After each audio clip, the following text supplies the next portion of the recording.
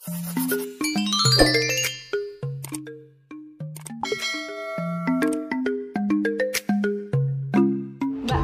ini semuanya berapa? Udah selesai makan ya? Masih kayak dulu kok, 5000 aja langsung pakai foto ya. Udah nih, Ini lima ribunya.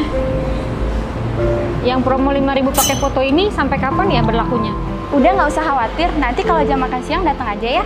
Kalau udah kadaluarsa, aku bisa bantu perpanjang. Oke, makasih ya Mbak. Hati-hati di jalan ya, Bu. Mbak, mbak, berapa? 25.000. Apa katamu? Ibu itu cuma bayar 5 ribu? Masa aku bayar 25 ribu? Oh, itu kami sebelumnya ada promo. Promo apa? Aku juga ikutan dong. Maaf ya, Kak. Promonya udah nggak berlaku. Loh, tadi aku dengar kamu ngomong ke ibu itu kalau promonya sudah berakhir, bisa diperpanjang. Kok kamu bedain aku sama dia? Ini mah penipuan terhadap pelanggan. Aku nggak mau tahu ya, pokoknya aku harus ikut promo yang tadi kamu bilang. Kalau nggak gitu, aku tunduk kamu. Anda nggak tahu malu ya? Apa maksudmu aku nggak tahu malu? Gini ya, Kak. Anak dari ibu itu telah gugur dalam perang di perbatasan. Mayatnya juga dikuburin di sana. Suaminya juga udah ninggalin dia, jadi dia tinggal sendiri sekarang. Dia itu pantas untuk makan gratis di restoranku. Kalau Anda, menurut Anda, Anda pantas. Mbak, Eh, Bu, kok balik lagi? oh ya Mbak, saya lupa kasih tahu. Beberapa hari ke depan mungkin saya nggak makan di sini dulu. Soalnya saya mau pergi. Ibu mau pergi ke mana? Saya mau ke perbatasan Barat Daya. Anak saya udah pergi dua tahun. Saya mau menjenguknya ke sana. Umur kaki saya masih kuat jalan, Mbak. Dua tahun lagi, mungkin saya udah nggak bisa ke mana-mana. Ibu hati-hati di jalan ya. Aku akan selalu nunggu Ibu di sini. Aku tunggu ya kedatangannya. Mbak, promonya jangan diberhentiin ya. Mulai hari ini kalau ada orang seperti ibu ini makan di sini cukup bayar 5000 plus difotoin. Sisanya saya yang tanggung. Toh kebetulan saya ada rezeki lebih. Mbak, aku masih tahu malu kok. Nih, aku udah bayar. Nah, gitu dong.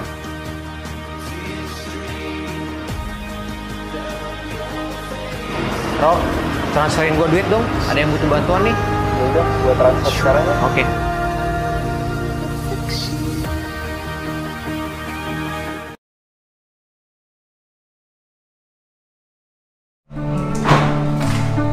Tolong anak saya dirawat dulu. Untuk biaya rumah sakitnya saya akan cari hari ini. Tolong Pak, saya minta tolong.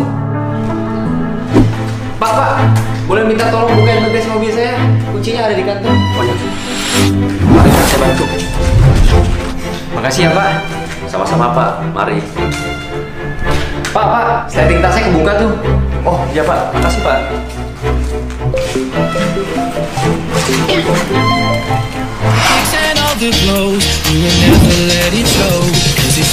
Iya Pak, saya akan lunasin biaya rumah sakitnya sekarang.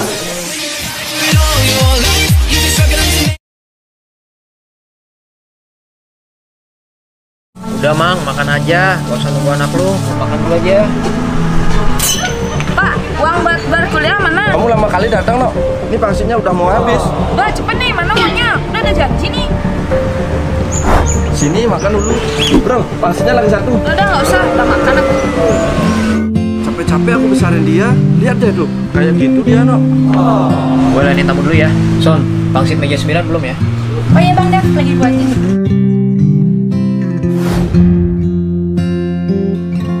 Cindy? Ngapain kamu ngintipin papa kamu? Itu pangsit dia pesenin buat aku. Aku tahu dia belum makan. Kalau aku nggak kayak gini, dia nggak mungkin makan. Terus itu kamu bawa apaan? Ini roti sisa dari toko roti bang. Roti sisa. Gak perlu sampai segitunya kali. Iya, aku pengen ngerasain gimana bapak makan roti sisa setiap hari. Yang penting sekarang kamu selesaiin kuliah kamu yang benar dan bikin bapak kamu bangga. Itu udah cukup buat dia. Oke bang, aku akan bikin bapak aku bangga.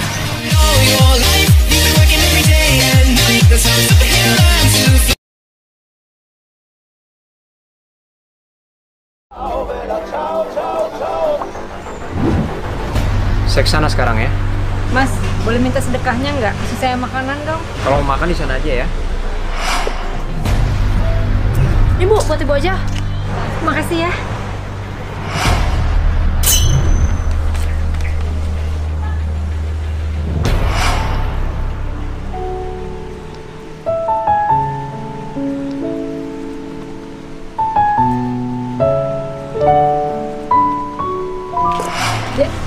Bisa kasih saya uang nggak?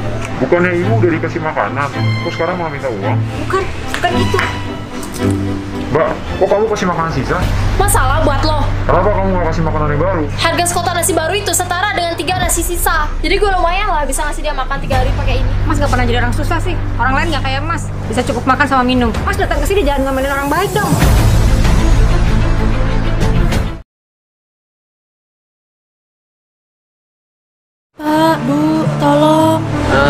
Rosa, kamu tolong ambilin satu dus air di mobil ya. Baik, Pak deh. Kamu kan masih muda, kamu masih bisa berusaha. Lebih baik kamu jualan minuman daripada kamu kemis ya. Semangat ya. Pak Dev, ada apa panggil saya? Rosa, kamu tahu kan kondisi perusahaan saat ini. Kredit dari bank belum disetujui, sementara utang kita di luar masih banyak. Kamu tolong atur untuk jual aset perusahaannya, termasuk mobil saya. Jual mobil. Bos, ini sini kunci mobilnya. Jadi kapan kamu bayar utang? Nanti begitu uang dari bank udah cair, saya pasti bayar. Rosa, kamu tolong jual mobil saya dulu ya dan bayarkan gaji karyawan. Gak boleh. Mobil ini sekarang punya aku. Dan juga aku bakal panggil orang untuk ambil semua barang berharga di situ. Emangnya kamu siapa berani minta ini semua? Siapa lagi nih?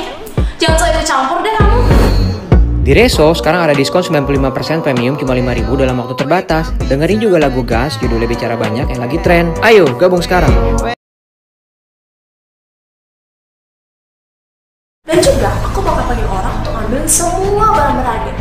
Emangnya kamu siapa berani ini semua? Siapa lagi nih? Jangan itu campur deh kamu. Berapa hutang dia ke kamu? Aku yang bayar. Oh my god, it's 5 billion. Is that okay for you? Di kartu ini ada uang 5 M. Ambil ini. Are you sure? Kembali kunci mobilnya. Pergi dari sini. Bye. Kamu... Pak Dev, ini kuncinya. Masih ingat air 2000 per botol? Semangat ya. Oh iya iya iya. Dimulai dari air 2000 per botol, aku bisa mencapai impianku satu persatu. Sekarang aku sudah punya tiga perusahaan milikku sendiri. Di kartu ini ada uang 10 M. Aku mau investasi di perusahaan. Dengan investasi ini, aku berhak untuk mendapatkan bunga. Bunga? Berapa besar yang kamu mau? Sedus air. Nak,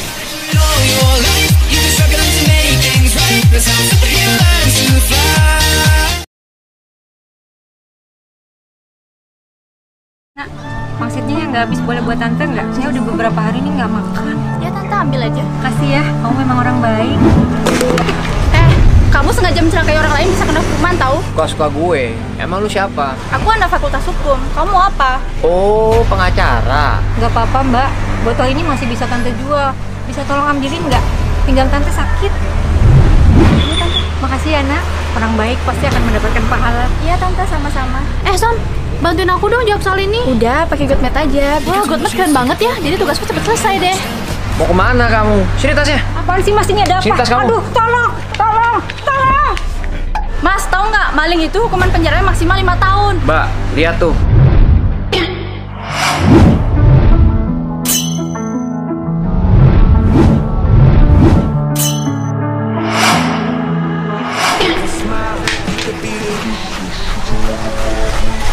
Mbak, mukul orang sembarangan juga ada hukumnya. Bisa udah maafin. Ini buat kamu. Sekali hati-hati ya. Tapi saya mana? Tapi ini bukan HP saya, Mas. Ah, yang itu, Mas. Nih. Terima kasih ya.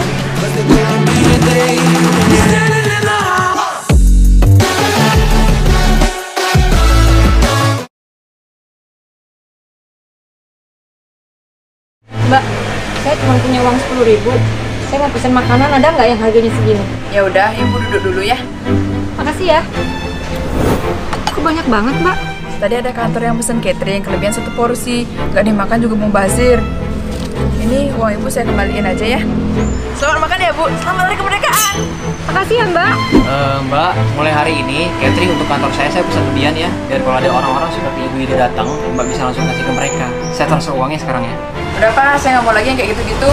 Loh, kenapa? Mbak nggak mau ngelainin mereka? Kan saya bayar lebihan.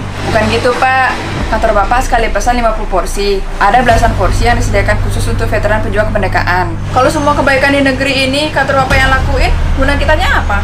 Mulai hari ini ya pak, kalau ada orang tua, orang kesusahan, datang ke restoranku, dia bisa makan apa aja yang dia mau. Aku yang bayarin, no depan. Oh gitu. Makasih banyak ya. Eh iya, selamat hari kemerdekaan ya. Nih mbak bayar yang tadi, Kelebihan nih pak. udah mbak buat mbak aja. Mbak, bayar. Kelebihannya buat makan orang yang kesusahan aja ya. Loh, kalian ini kenapa sih? Merdeka, Mbak. Terima kasih ya Mas, Mbak. Selamat Hari Kemerdekaan. Di hari kemerdekaan ini, saya tersentuh dengan banyaknya orang yang berlomba-lomba untuk berbuat kebaikan. Panjang umur orang-orang baik.